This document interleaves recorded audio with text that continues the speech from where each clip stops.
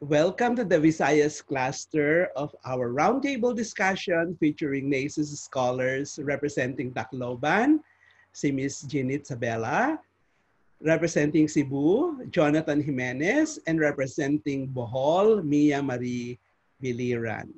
So this afternoon, we are so privileged to have the three of you to shed light on issues concerning globalization, the pandemic, and of course, our shift to online instruction. So without further ado, magsimula na tayo. At ang aking unang katanungan ay para kay Jeanette. So Jeanette, paano ka nag-cope dito sa madaliang shift or transformation from residential instruction patungong online teaching? 'Di ba? Nung nagka ano nang nag-breakout na no? As early as uh, January may mga kaso na. Kaya lang hindi pa nare-report. At nag-escalate yan sometime during March. Paano ang ginawa mo bilang isang guro na kinakailangang tumalon o lumundag sa isang klase ng sistema ng pagde-deliver ng instruction na hindi familiar para sa lahat ng guro lalong-lalo na sa pampublikong paaralan. Jenny, give us your thoughts. Isang magandang pagbati sa ating lahat. Unang-una doon sa konsepto ng coping mechanism, um, ginamit ko yung common sense. Okay. Sabi ni Lauren Berland sa kanyang Common Infrastructures for Troubling Times, nagkakaroon ng transition ang tao dahil sa kanyang iba't ibang karanasan kahit na ang ating mundo. Kung kaya sa bawat pagbabago na ating nararanasan ay kinakailangan natin gamitin ang ating common sense. Yung ating, sa Ingles, tinatawag ito, yung definition nito is sound judgment. So, minsan yung mga sound judgment natin hindi um, nagdudulot ng maganda sa ating kapwa, sa ating kapaligiran. Ngunit ang umiiral dito ay yung ating survival. So, nung nagkaroon ng pandemya, naisip ko, kailangan talaga mag-adapt ako, maging resilient ako sa panahong ito. So that is one thing. Ginamit yung common sense. Pangalawa, siniguro ko na yung mga skills ko ay mapapaunlad ko pa. So inalam ko kung ano yung mga um, kakayahan ko para kung ano yung mga kulang pa, then matutugunan ko. So sa pamamagitan ng um, pag-alam, pagkakaroon ng awareness uh, kung ano ba itong mga online na ito, paano ba ito isinasagawa, then naisakatuparan ang konsepto ng resilience and then um, naipatupad din yung good judgment, yung common sense. So, yun po yung masasabi ko po. Okay. So, napaka-practical nung suggestion mo, no? Yung paggamit ng common sense, yung common, yung para sa, kung ano yung pinakamabuti para sa lahat. Kaya nung sinabing kinakailangan mag-social quarantine, nag-social quarantine tayo, hindi na natin iniisip yung pang-isahan lang o pang-sarili lang, kundi ang, ang uh, iniisip natin kung ano yung makakabuti sa pangmarami. So that is the sense of the common, di ba? Yung sinasabi nating common sense, yung dapat na nasa atin na, na sa atin ng lahat ng tao, eh kinakailangan lang siguro bigyan natin ng tuo no, kung paano yung pinaka uh, mainam at pinaka maagap at pinaka practical na uri ng pagkokop doon sa tinatawag ni Walter Benjamin na emergency. So mula doon sa salitang emergence, ano ba yung salitang emergence? Ang ibig sabihin, umuusbong, lumilitaw. So ano yung lumitaw doon? Lumitaw doon yung yung pinaka-practical na kaalaman ng isang guro. Kaya ang ganda nung sinabi mo, ano, uh, Jeneth, no? Yung mga teachers natin, kaya kahit hindi ganong kalalim yung pagkakaunawa nila dun sa shift ng papuntang online teaching, ay naku talagang nagtulong-tulong tumu, nagtulong-tulong yung mga teacher upang maitawid, di ba? Sa natitira pang panahon sa eskwelahan, yung pangangailangan ng panahon uh, which is yung kinakailangan na mag-social distancing, kinakailangan na talaga na magkaroon ng ano no, ng quarantine yung mga tao. Ah, uh, so punta naman tayo kay Mia. Mia. Yes. Paano, yeah, papa, paano bilang isang administrator, paano mo inaddress yung yung problema ng mga at paano mo i-address no dahil malapit na naman magpasukan. Paano kaya ang gagawin natin do sa digital divide na tinatawag? Do sa digital divide yung meron at yung wala yung merong access sa technology, yung walang access sa technology. So, unang-una, yung sa student side, yung mga estudyante natin na walang gamit, halimbawa yung smartphone, o kaya walang laptop o computer, wala ring internet connectivity. At yung on the other hand, ano yung, paano mo naman i-address yung mental health na mga teachers na dahil dito sa pandemic na to, 'di ba? Nanay sila o kapatid sila tumutulong sa bahay. Tapos pumapasok sa eskwelahan bilang teachers, no? Leaders ng community. Eh di nagkakaroon rin niya ng ano epekto sa mental health na kalagayan ng mga guro. So, pwede mo bang bigyan kami ng insight kung as an administrator, paano mo gina, gina-juggle yung dalawang magkaiba, no? ibang concerns ng estudyante at ng mga teachers mo? Mia? Magandang araw po sa lahat. Magandang araw, Sir Ferdy. Um, bilang isang administrator po, eh, ang daming iniisip at daming ginagawa talaga. Eh, unang-una, um, yung uh, analysis, situational analysis, kasi tingnan natin kung ano yung ba yung mga capacities, capacity ng teachers, capacity ng mga learners. Sa teachers, unang-una talaga, uh, yung meron ba siyang resources? Meron ba siyang computer? May access ba siya sa internet? O marunong ba siyang gumawa ng mga modules? Pero ano naman, nakakatulong din naman yung mga DepEd initiated na mga webinars na nangyari. Meron ding mga non-DepEd initiated na nakaka, yung mga teachers na na-prepare yung mga teachers for the new normal. Tapos bilang administrator, minomonitor ko talaga yung mga webinars na na pina-participate ng mga uh, guro namin. At saka uh, sinisiguro ko rin na merong job embedded learning na gagamit kung ano yung mga learnings nila sa mga webinars. Tapos, uh, unang-una kasi, yung sinasabi mong mental health, unang-una kasi sinisiguro ko na yung, yung mga may mga priorities, no? Unang-una yung protection. No, protection sa sarili, protection sa pamilya, at saka protection sa mga katrabaho. So strict adherence talaga ng health protocols, no? Adopt conservative measures rather than taking unnecessary risks. At saka importante din talaga yung komunikasyon. Uh, effective and open communication is of utmost importance talaga. With everyone spreading out kasi nag-home based, uh, take nothing for granted in terms of making sure that everyone knows what is going on and why. And uh, kung may wasto at active na komunikasyon, ito rin yung pinaka-basic na psychosocial support mo sa mga teachers. No? Kasi alam, dapat may kaalaman. Dapat ang lahat na-reach out. So, in terms po uh, in terms of technology, dapat din mag-a-upgrade ang teachers. So, ngayon, hindi talaga pwede ang guro hindi marunong gumamit ng computer. Pero, um, hindi lang pwedeng, uh, hindi lang sa paggamit, but ma-upgrade yung uh, kaalaman kung papaano. So, nami-meet naman yan sa mga webinars na uh, kani, kanilang uh, pina-participate.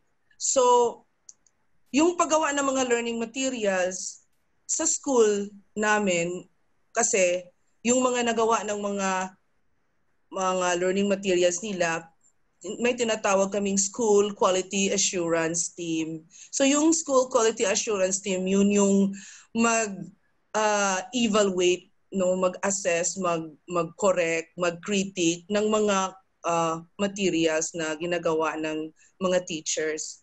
Tapos um yung capacity ng mga learners, ano ba ang mga, meron ba silang mga gadgets? Meron ba silang mga, uh, may access ba sila sa internet? So ito yung mga basic kasi sa online teaching.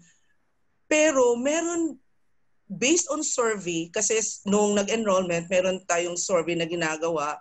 Based on survey, uh, maliit lang yung porsyento na walang gadget pero yung access ng internet, mahirap talaga. At saka costly din.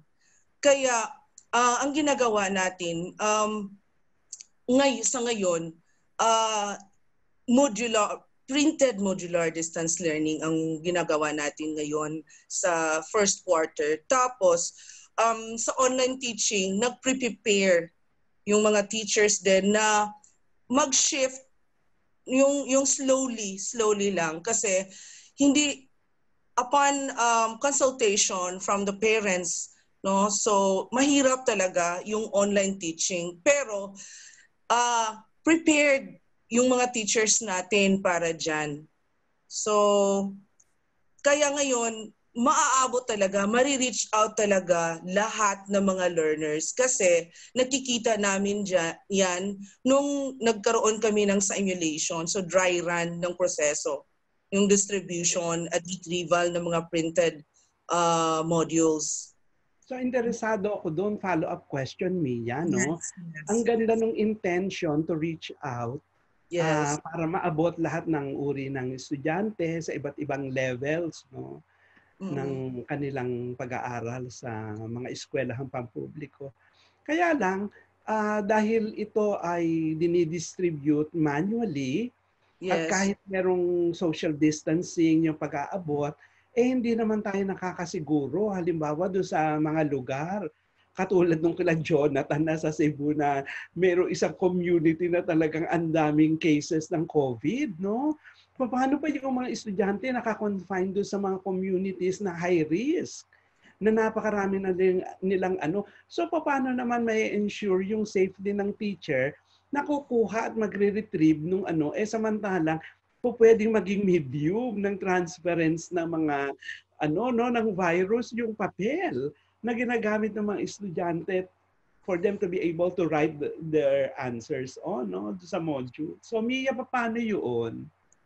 meron tayong ano kasi sir, yung yung process, yung, yung mechanism. So every Friday yung distribution at retrieval. So every Friday andyan na yung mga materials sa mga tinatawag nating centers, no, yung mga pick up at uh, distribution uh, pick up at uh, retrieval centers at yun yung mga napipiling mga lugar na safe katulad ng mga barangay halls, uh, pwede rin kasi mga purok, purok uh, house o purok yeah. centers, uh, doon doon inilagay yung mga boxes na uh, andun naka nandun yung mga learning materials uh, tinatawag nito natin itong mga drop boxes. Tapos ang ginagawa natin uh, yung mga bata yung hindi ta- hindi talaga sila yung magkukuha ng mga learning materials. So ang ginawa kasi uh, reaching out. So kung saan kung saan ang lugar na may access talaga yung mga bata, yun yung ginagawa. So pwede naman kasing wala yung wala yung teacher sa distribution kasi na linkages kasi kinakailangan. Hindi kasi pwedeng tayo lang sa, I mean kami lang sa DepEd. Hindi kasi pwede, uh, kailangan kailangan yung uh, we have to solve this problem together no sa sa linkages no sa mga LGUs. Tapos hindi naman yan kasi mahirap dahil merong uh, parang uh, mem- memorandum no uh, from the ILG uh, uh, signed by the DLG secretary na magso-support uh, um, mandating all the LGUs to support the Oplan Balik Eskwela for school year 2020-2021. Kaya makukuha natin yung kooperasyon ng mga barangay officials at saka yung mga community people din at mga parents.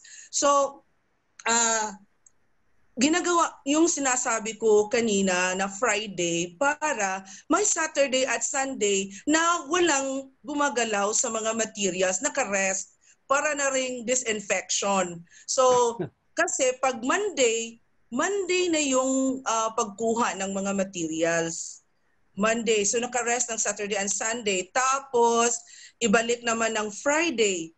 And then naka-rest ng Saturday at Sunday pag Monday, retrieval na naman at saka pag uh, distribution rin. So, okay. So, ganun pala yun. Yes. Yeah.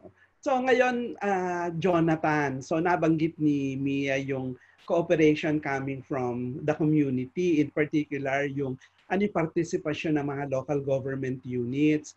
Sa palagay mo, uh, sa, sa iyong personal na karanasan sa Cebu, paano mo nakita yung pakipagtulungan ng local government unit at yung Department of Education in addressing the needs ng ng mga eskwelahan uh, lalong-lalo na no yung yung Oplan Balik Eskwela parang ibang-iba ito do sa nangyayari dati na yung mga magulang may dalang mga wali. Brigada Eskwela. May dalang yung Brigada Eskwela nagpipintura. So, paano yung ano ngayon ng mga magulang?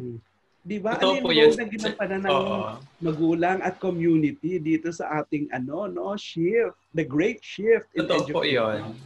Yeah. Oo. Okay. So, ang so, shift na ito. Sir Ferdy, ang shift na ito ay napaka bago, di ba? So, tayong lahat ay hindi handa sa panibagong hamon na ito. So, sabi nga ni Arundhati Roy, uh, ito ay isang portal sa panibagong mundo. So, uh, because of this, eh, lahat tayo nahihirapan. At gayon pa man, ang ating gobyerno, lalo na sa mga local government units, ay nakipagtulungan sa Department of Education kung paano natin ipagpatuloy itong advokasya natin sa na kailangan itong mga bata ay talagang may matutunan kahit nasa bahay lamang.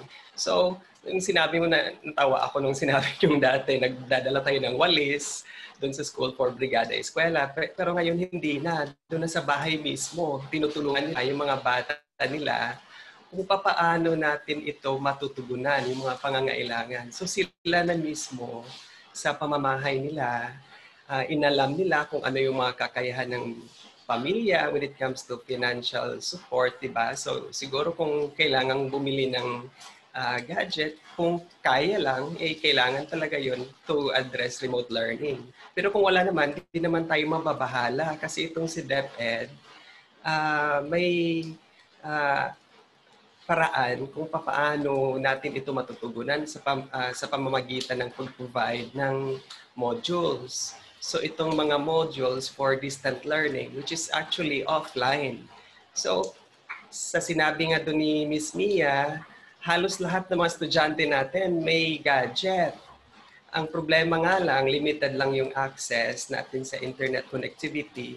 Pero kahit naman siguro combo 10 lang, 10 piso lang ilulod, siguro makakagamit na tayo ng messenger. So I think it's not really totally a barrier. Itong sitwasyon natin ngayon, na sinabi ni Aaron Dati Roy, nalilipat tayo sa bagong mundo. So I think uh, even before the pandemic has emerged, eh, parang handa na tayo na harapin itong mga hamon na ito. Yeah. So ang, ang, ang ganda nung minention mo na portal, ito ay isang pintuan. Pintuan na... Pintuan po. Yeah. Yung, ito ay isang lunsara, no? So, dalawang mundo na magkaduktong, dinuduktong ng isang portal, isang gate, isang daanan, isang lagusan. Kaya nga ang ano doon, yung konsepto ng pandemic as a portal, sabi doon, dapat magdidesisyon tayo dahil nga nandito sa tayo sa transition sa isang sandali ng paglipat. So lumilipat tayo sa isang pamamaraan no sa yung dating buhay natin na naging habit na natin yung makapagchika-chika, uh, uh, kung kailan natin gusto maki, makipag-socialize, nagagawa natin, pero ngayon hindi na. Di ba? Pero so, nagagawa din naman natin, Sir Ferdy, pero siguro sa panibagong paraan na. So, mas na-elaborate oh, oh, na natin yung mga so, paraan kung paano mag-socialize. Yeah. So, ang sabi nga ni Arundhati Roy, dapat malinaw sa atin ano yung iniiwan natin. Kaya gusto kong malaman sa on the part of a teacher dito sa Pilipinas, ano yung mga bagay na kinakailangan niyang iwanan para makarating siya ng maluwalhati at magaang dito sa bagong pupuntahan. So Jonathan, magandang... as a culture-based, yeah, as a culture-based uh, teacher, no, teacher na gumagamit ng ng pagtuturo base sa kultura, lalong-lalo na doon sa mga lokal na kultura. Ano yung dapat iwanan ng isang teacher para makapag-cross siya, para makatawid siya dito sa bago no, new normal na tinatawag? Ako, napakagandang tanong yan, Sir Ferdy. Napakagandang tanong yan, Sir Ferdy. Uh, di ba tayo pag magbiyahe, di tayo nagdadala masyado ng mga mabibigat na dalahin, na bagahe. So, as much as possible, dadalhin lang natin yung mga importante. So gayon din, di, ganun din dito sa tinatawag nating new normal. Pumapasok tayo sa bagong lagusan, sa bagong portal, na we have to bring with us only those that are necessary. Yung mga basic lang, yung mga kailangan natin sa ating paglakbay sa bagong mundo. Ah, so, ano pong mga, kasam, ano na to, basic na to or necessity, oh, Jonathan? Ano Oo, Kasa, kasama na po rito yung awareness on how to survive. Kasama po dito yung awareness on how to survive. Very basic yun. And uh, itong mga survival skills na ito ay kahit wala pa itong pandemya, kahit noong unang panahon pa, itinuturo na sa atin ng ating mga ancestors. So, basically, we have to learn from our ancestors. Ang kultura natin, ang dami on how to survive. Yung mga pinapractice ng ating mga ninuno. Diba? So, these are the important uh, concepts na which are culture-based na kailangang matutunan natin ngayon. We have to survive. So, yun yung mga yun mga dapat dadalhin natin sa paglakbay in the new normal. Okay, salamat Jonathan. Ginit, sabi ni Jonathan, no, yung basic, yung essential. Ah, uh, bilang isang guro sa panahon ng krisis, paano mo kaya maituturo ng sa simpleng paraan? Yung hindi masyadong mabigat ang dating sa mga estudyante ng kalaga ng ating kinasasadlakan, yung ating circumstances ngayon, yung ating condition ngayon, how are you going to explain to our students in a manner that they will be able to understand ano ba itong pandemic? bakit nagkaroon ng pandemic? Di ba obligasyon natin bilang isang guro na mag-provide ng mga kasagutan sa mga katanungan ng ating mga estudyante? So, Janet, interesado ako on your end as a teacher. Paano mo i-explain yan sa isang bata na halimbawa nasa grade 4 or nasa grade 5 ng elementary schooling niya? Magandang tanong din yan, Sir Fardy. Unang-una, um, marami tayong mga tinuro noon na hindi na angkop sa new normal setup. Dahil nga sa pagbabago na nararanasan ng ating bansa, kagaya ng pandemic. So, unang-una, i-employ natin yung strategy ng do it yourself. In other words, sa naging karanasan nila, aalamin kung ano ba itong, kung ano ba ang naging epekto nito sa kanila. For example, yung pag-wear ng mask. Ano ba yung naging karanasan nila? Yung pag-observe ng one meter distance. Kasi sa kultura natin, ma ano mahilig tayong makipag salamuha sa iba't ibang tao, makipaglaro, makipag-usap. So this time, may limit, may limit na. So ano yung naging karanasan nila? So sa pamagitan ng konsepto ng do it yourself, mailalabas nila kung ano ba yung mga saloobin nila. And from that, nagka, from that, yung mga experiences nila, karanasan, then ma ituturo natin sa kanila kung ano ba ang magandang gawin sa panahon ngayon. So ang ganda Kasi- ng senior mo, no, no, tungkol sa experiential learning. So Oo. sila magiging basis nila yung kanilang karanasan, no, sa Karanasan. pang-araw-araw. Ang ganda kasi ano nga sin ano sino nga ba makakapag-explain sa kanila kung hindi yung Sila mismo. karanasan experience as a best Yeah. teacher. Hanggang ano pa yung mga ibang sa palagay mo ang magiging paraan mo sa pag ah, bibigay ng emphasis no dito sa pandemic na to at yung relationship niya dito sa problema ng ating daigdig yung destruction of the planet Earth, yung climate change, di ba? So, Ano yung mga kaugnayan nitong dalawang pandemic, tapos yung ecological crisis, yung environmental pro- problem. Pa- Paano maiintindihan ng estudyante yung kaugnayan nito? Jeanette? So, ma, ma, matutugunan ito sa pamagitan ng paglalagay sa kanila sa isang sitwasyon na kung saan makikita nila ang iba't ibang epekto ng kanilang mga desisyon.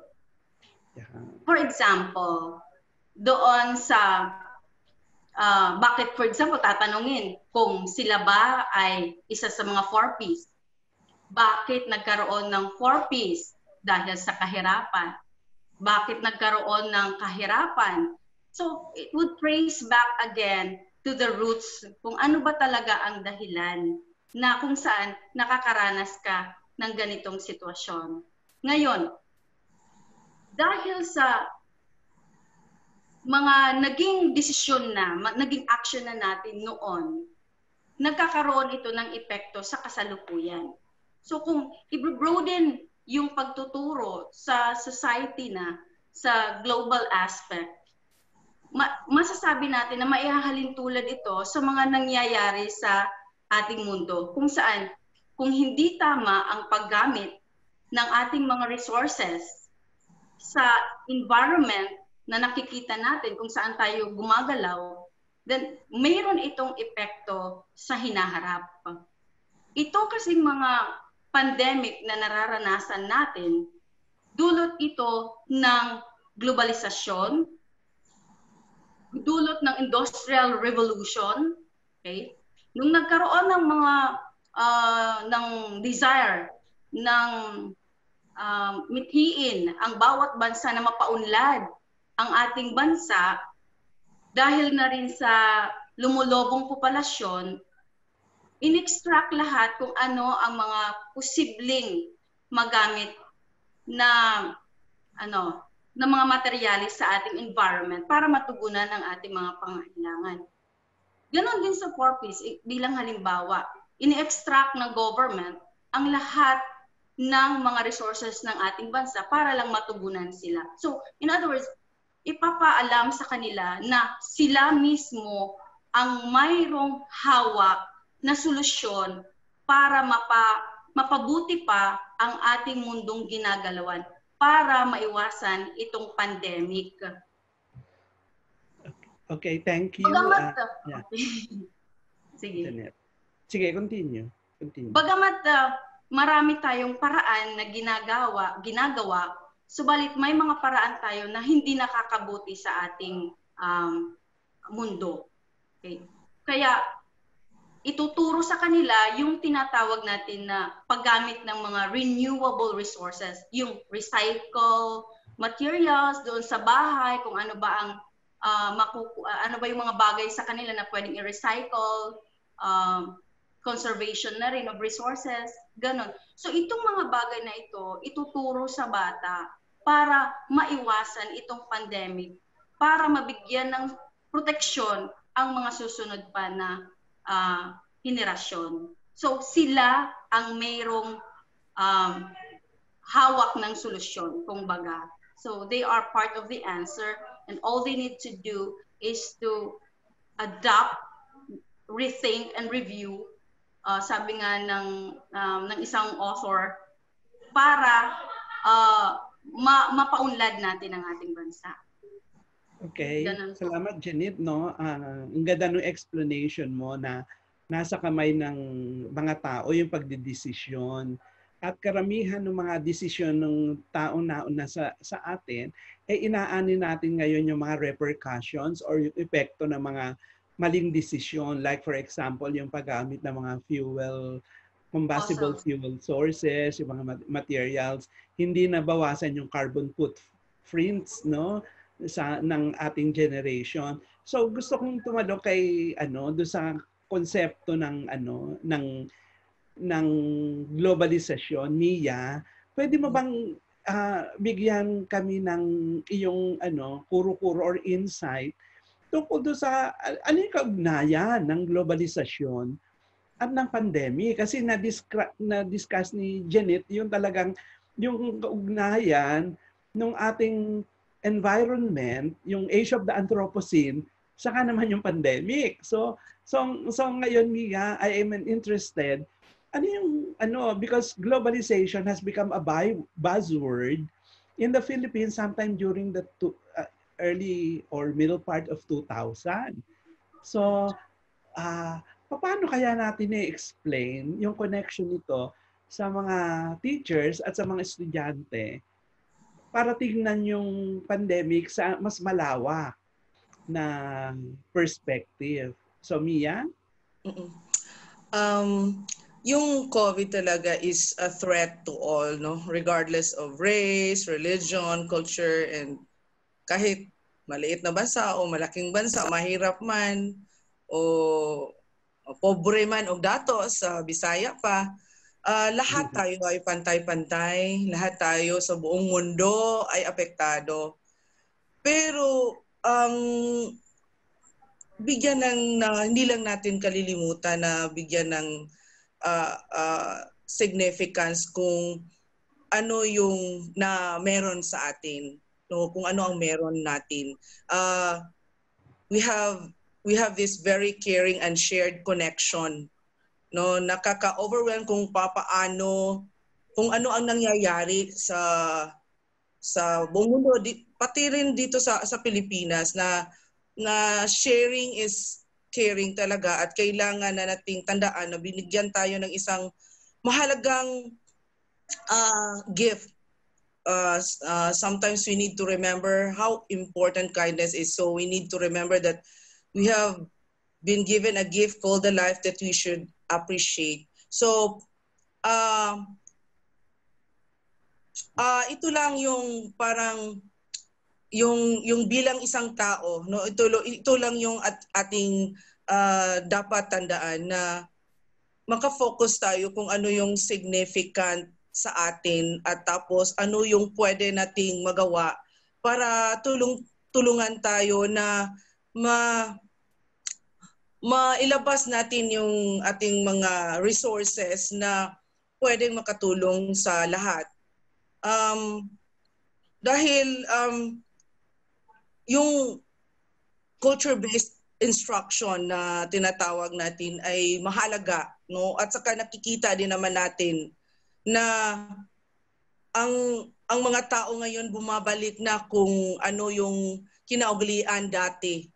So like sa mga cultural heritage ng healing processes no uh, sa mga bahay natin um, na nagagamit ngayon kasi sa hospitals hindi na hindi na tayo parang meron tayong uh, we're afraid to go to the hospitals kasi ma, we're afraid na baka mahawa tayo. So, um, nagre-resort yung mga community people ng mga healing processes na ginagawa natin noon gaya ng tuob, yung hilot, yung palina o paspas, sakop o at iba-iba pa no sa Bisaya pa.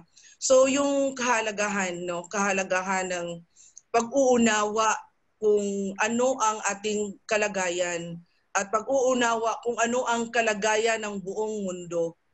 Yun kasi yung una-una na na parang bigyan ng bigyan ng uh, pansin. So kasi ang nangyayari ngayon uh, kung nasa tahanan lang yung mga estudyante, nasa, nasa tahanan lang tayo, na bibigyan din natin ng kahalagahan yung pamilya, yung tahanan. No, kasi noon parang nawawala na ng value kasi noon uh, although meron man pero parang nawawala na kasi busy-busy tayo sa mga uh, activities natin araw-araw. So ngayon na nasa bahay tayo, na dibigyang halaga na yung yung home care na bumabalik yung kaugalian nating Pilipino ng value of home na nagbibigay ng essential care uh, hindi lang yung sa physical but sa mental.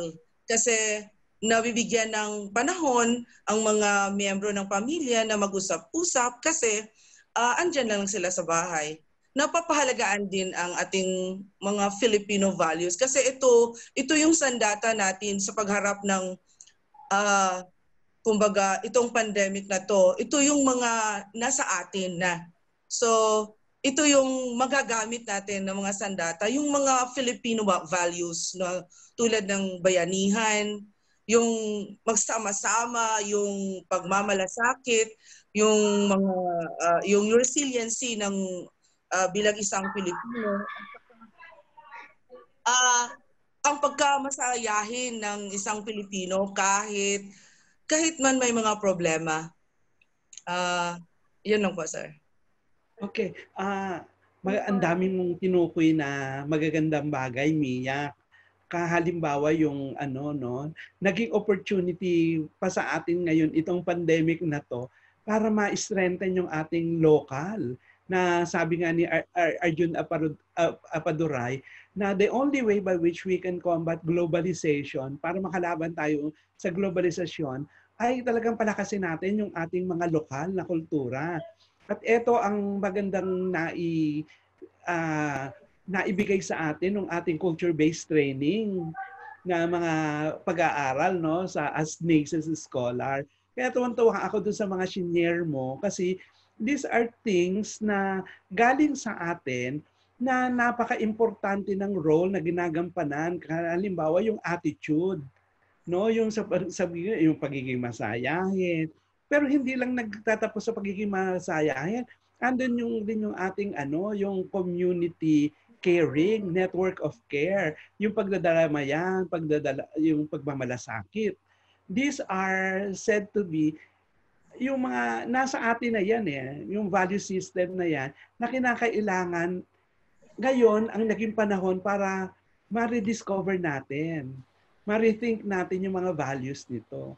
Kaya ang naganda nung ano no nung sharing na ginagawa natin ngayon para doon sa mga teachers para magkaroon sila ng ibang pananaw tungkol sa kahalagahan ng culture-based learning sa panahon ng pandemic. Jonathan, ikaw naman. Kasi si Jenny, pinag-usapan na namin yung napag-usapan na yung relasyon ng ano no ng environment, yung age of the Anthropocene at yung pandemic. Si Mia naman yung epekto ng globalisasyon, no? At itong pandemic kung nang nagaganap na to dahil nga naging global citizen na to, naging malaya na yung pagta-travel. Kaya ito rin siguro yung naging dahilan kung bakit nagkaroon ng napakabilis na transmission nitong virus. Jonathan, ako interested ako on your end. Ano yung sa palagay mo yung, yung kaugnayan, no? Yung pagtalon from one species to another. Kasi talagang hindi natin maunawaan ano ba itong nature nitong pandemic na to. So how are you going to establish the relationship between zoonosis and the pandemic? Kasi sabi nila, hindi ito ang una't huling pandemic. Kasi nauna na dyan yung ano, Spanish flu. Hanggang ngayon wala pa rin vaccine ng malaria. yung HIV, wala pa rin vaccine. Yung mga virus na yan, yung virality, di ba? Tayo nga eh, sa paggamit ng computer, may salita na virus, computer virus. So alam natin talaga yung contagion, no? Na may destructive element, may catastrophic na epekto, mga ano to. Paano mo ipaliliwanag sa iyong mga estudyante, halimbawa sa SPA school, na iyong tinuturuan, kung ano itong idea ng zoonosis at ng pandemic. Di ba? Para mai-avoid natin yung ano, dahil di ba meron tayong mga dis, uh, diseases related doon sa mga cow. Di ba yung mad cow disease? Meron naman galing sa camel, yung yung MERS-CoV, 'di ba? May galing naman sa bat. Ito ngang ano na to, Wuhan virus, sabi nila either sa pangolin or sa sa mga paniki. Jonathan, ikaw, paano mo i-explain to sa mga estudyante mo? Oo, Sir Ferdy. Uh, ito ay napakahirap na ano uh, sitwasyon kasi tayong mga Pilipino, mga tao in general, eh likas tayong may interaction, very close interaction sa mga animals. So, ibig sabihin, hindi ito yung huli. Ito yung uh, patuloy na ito. Hindi rin ito yung kauna-unahan kasi dati meron ng pandemic, di ba? So, uh, ang ano ko lang dito eh, yung mga estudyante natin, tayo lahat, kailangan nating matuto na mabuhay na merong pandemya, merong pandemic. Because it's expected na sa hinaharap, mangyayari at mangyayari pa din ito.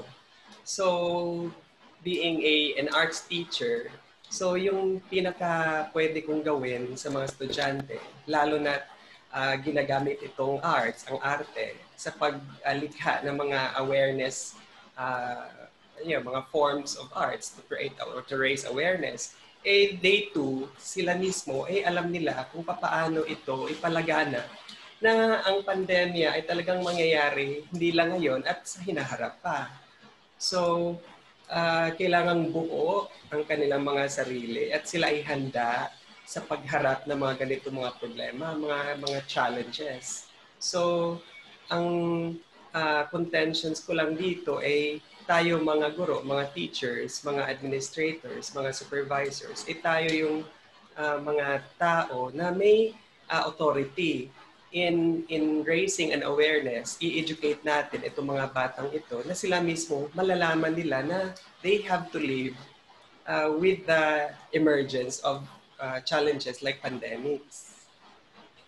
So, yung sinasabi mo nga no, iba yung mga ano eh mga tao, yung kanilang pagmamahal sa mga hayop yung Oo. mga nasa farm, lalong-lalo na sa probinsya, no? Totoo. Yung mga manok na din na domesticate, yung mga baboy, yung mga Oo. ano. So, hindi natin mapipigilan yun, di ba? How, how do we create this so-called critical mass na mag-isip ng magkaroon ng mga second thoughts about yung kanilang ano no yung pakikipag-interact sa mga hayop. Hayop, oo. So kailangan talaga responsible yung ano, yung paggamit at pag pag pag-interact, pagkain ng mga hayop na yung, yung really intended for food. Kasi nga nangyayari, may mga may mga tao sa mundo na talagang hilig nilang mag-explore ng mga exotic foods tulad ng sa nangyari sa pandemya ng COVID-19 eh it's thought to be galing sa isang abat at nalipat sa pangulin at sa tao. So, ang transmission na ito, yung sinatawag nating zoonosis, eh mangyayari at mangyayari pa din sa hinaharap. Pero Jonathan, di ba sabi nila, ano raw to, cultured, itong virus na to galing sa sa laboratory na pinaghalo-halo yung virus, no? So, ano, para magkaibang versions to. So isang version na galing sa hayop, tapos yung isang ano naman, na galing sa laboratory. Laboratory. Isang virus. Ano yung take mo doon? Naku, napakahirap i-prove yan. So whichever is uh, true doon sa mga speculations na iyon or mga theory na iyon, ang take away ko lang, eh, dapat tayo talaga mag-ingat. At uh, since nagsimula na itong pandemyang ito, eh talagang hindi na ito uh, uh, matutuldukan, ma- mahanapan man siguro ng uh, gamot o di kaya'y uh, lunas, eh babalik at babalik pa rin ito. So sa sinasabi ko kanina, so kailangan natin masanay na may uusbong pamuling pandemya sa in the, in the future. Okay. So ano na, limited na lang raw yung oras natin ayon kay Alpha. So magla-last words na tayo ngayon. So magsisimula tayo kay Jeanette. Jeanette, ano yung mga habilin mo o yung pabaon mo uh, para sa ating mga viewers about yung kahalagahan ng culture-based education sa panahon ng crisis na tulad nitong COVID-19 pandemic. So, Jenny?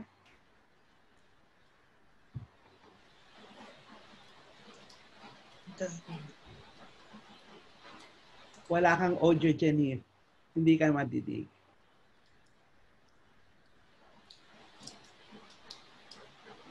Marami na tayong mga impormasyon na narinig, mga paghahanda na ginawa, ngunit isa pa rin ang nananatili, yung kasabihan na nasa sayo pa rin ang desisyon.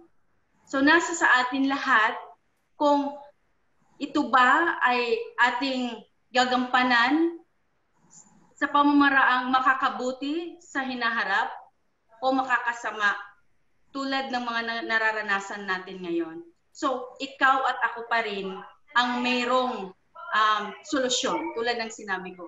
Kung kaya um, sa pagtatapos, gusto kong sabihin sa ating lahat na sana manatili sa ating puso at isipan ang konsepto na we make a difference para sa bayan, mabuhay tayong lahat. Okay. Thank you, Janet. Uh, Mia, ikaw naman. Uh, magkoconnect ko kay Ma'am Janit na sabing we make a difference. Yung, yung mag, we all can lead. No, we pwede nating maging positive change agents. No, bilang isang educator o hindi lang basta-bastang educator, culture-based educator pa. So, ang dami ma- na, ang daming mga challenges no sa ano trabaho. Pero kung magiging positive hindi sa positive sa COVID ha? Positive, positive change agents tayo. Parang bawal na maging negative na parang tuloy-tuloy lang tayo. Head on. And we'll be uh, um, helping each other. Kasi balang araw uh, when all of these are over no makikita natin, wow, we survived. At I am involved. I am involved in uh, solving this uh, pandemic. So we hope we'll join the good fight against the COVID-19. Yan lang po. Okay. Yan. Thank you, Mia. And ang ating mutya, si Jonathan, para sa iyong farewell speech. Farewell ano po, malupit na, malupit na sa atin si 2020, ano? So, ang dami na nating mga experiences, mga challenges. So, gayon pa man, eh, hito tayo, surviving. So, it, I think this does not uh, stop us na magtutulungan tayo, ipagpatuloy natin itong advokasya natin sa culture-based education. Dahil nga dito sa, sa discussion natin this day, nakikita natin na may katuturan itong culture-based education na kailangan natin mag-survive sa ating survival. So, since nandito na tayo sa bagong normal, uh, pumasok na tayo sa isang portal na lahat mababago, so kailangan natin talaga mag-adjust. So, at ito, lahat na ito, ay dapat malalaman at matutunan ng mga estudyante natin, mga kapwa teacher, mga supervisor, mga school administrators, lahat-lahat para at least mapatuloy natin ang ating pagdadayama, pagdadamayan at bayanihan.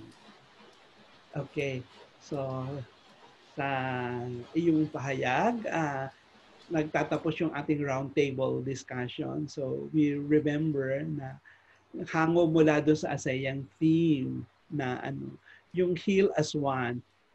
Uh, we not only move as one, but we also heal as one. So, yung kahalagahan ng bawat isa, ng tamang uri ng perspective o pananaw, yung paggamit ng kultura bilang napakatibay na sandigan upang tayong lahat ay hindi magpanik kung hindi tayong lahat gamit ang common sense ay makapag-cope dito sa struggles na kinakaharap ng ating bansa ngayon ng buong mundo.